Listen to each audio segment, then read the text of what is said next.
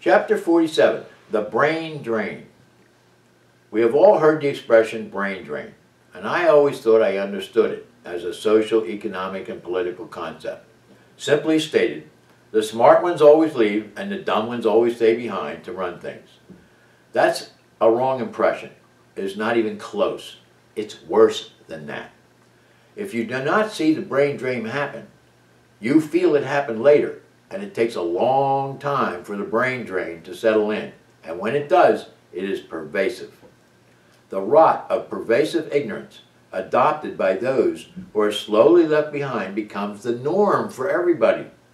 And then by default, with the constant of facing no opposition, it becomes the standard.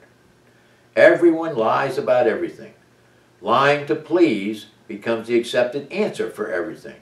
Lying over and over until lying is acceptable behavior by the entire non-alert ostrich-like community as evidenced by the ritualistic repetition, rep repetition of their own silly myths. Santa Claus, Easter Bunny, the Truth Fairy, the Tooth Fairy, and most of all, the religious stories that are bouncing about, blamed on some kind of tradition. That's a roundabout way of saying they teach their young all their own bullshit. And remember, in these non-alert, ostrich-like communities, it's always the other guy's fault because they did this to us. And they ain't as courteous or very courteous about believing our bullshit. Throughout the history of the entire human race, during seasonal migrations, men left home to find food or work. If they got it, they asked their families to follow. Ergo, building villages, building towns, and then finally building cities. Population centers all over the world got to be very crowded this way, and Namibia was no exception. All human survival is about work for food and shelter. Where there are no jobs, there are no people. Those left behind in depressed areas die a slow death from the reverse of growth called depression. The young sense it first. Mom, I want to go away to school. This place sucks. There is nothing for me to do around here. That's what you hear. Well, not too far now, sweetie. We want to see your pretty face once in a while.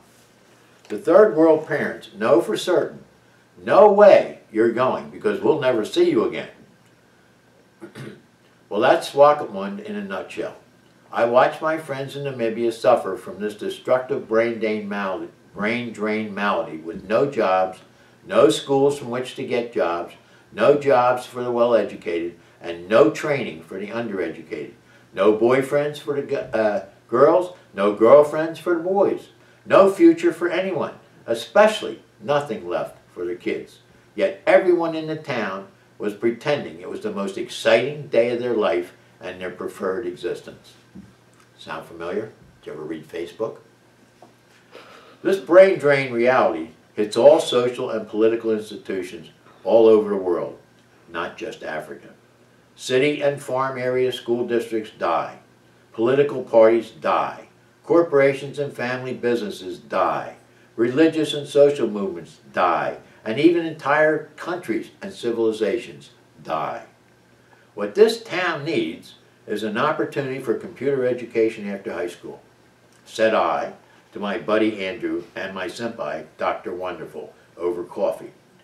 Knowing his own two young adult sons were in the same brain drain, frame of mind, and targeting Australia as their escape plan. Wotan got it. It was already too late for his family planning goals, but he was sympathetic to the entire Namibian community and therefore agreed to help me put it together and serve on our board of directors. I approached him first to start the Cyber University in Africa for two locals we both knew personally. They were mercilessly caught in the squeeze of the brain drain in Swakopmund. Sure, Swakopmunders could go to the University of Namibia in Windhoek, 350 kilometers away, but there are still no jobs in Namibia to absorb university graduates. So, I had the bizarre idea to help them stay in Swakopmund and many more like them.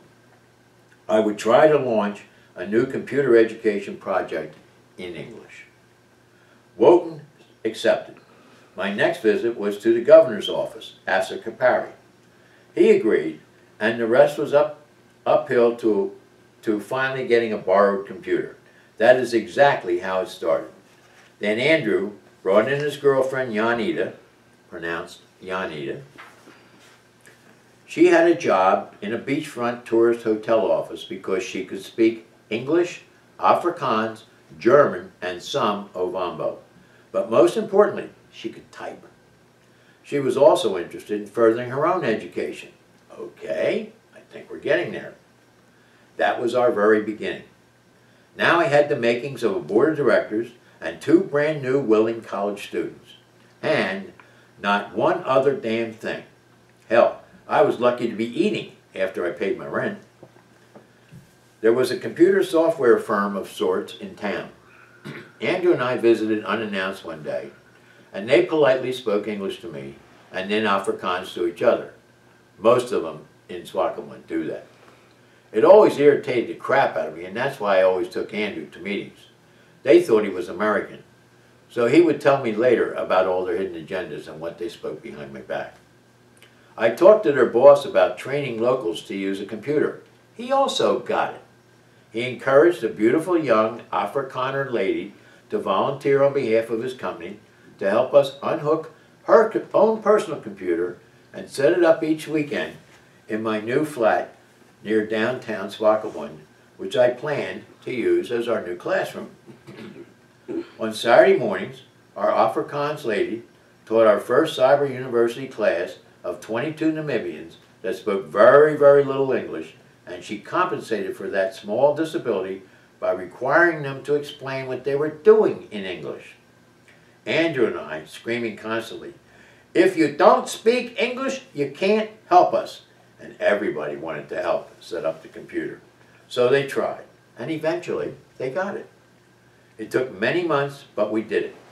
We accomplished exactly the goal we set without telling them.